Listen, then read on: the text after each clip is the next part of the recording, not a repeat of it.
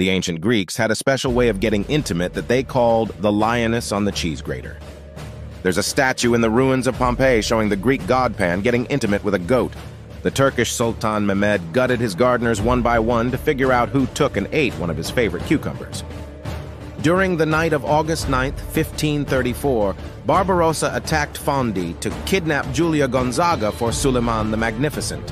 The plan was orchestrated to replace the Sultan's wife. However, the woman escaped. Fleeing with a lone knight, the knight was later killed by Gonzaga for witnessing too much during her nearly nude escape. Alexander Graham Bell made a device that could send voices using sunlight, way before the modern wireless phone, like 90 years earlier. Rich ancient Greeks would sometimes have their slaves warm up public toilets made of marble slabs before they used them